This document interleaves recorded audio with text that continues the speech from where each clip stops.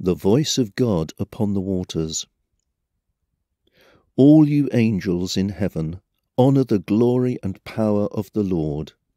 Honour the wonderful name of the Lord, and worship the Lord most holy and glorious. The voice of the Lord echoes over the oceans. The glorious Lord God thunders above the roar of the raging sea, and his voice is mighty and marvellous. The voice of the Lord destroys the cedar trees. The Lord shatters cedars on Mount Lebanon. God makes Mount Lebanon skip like a calf, and Mount Hermon jump like a wild ox.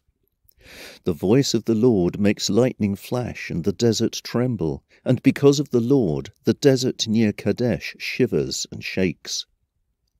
The voice of the Lord makes deer give birth before their time. Forests are stripped of leaves, and the temple is filled with shouts of praise. The Lord rules on his throne, King of the flood forever.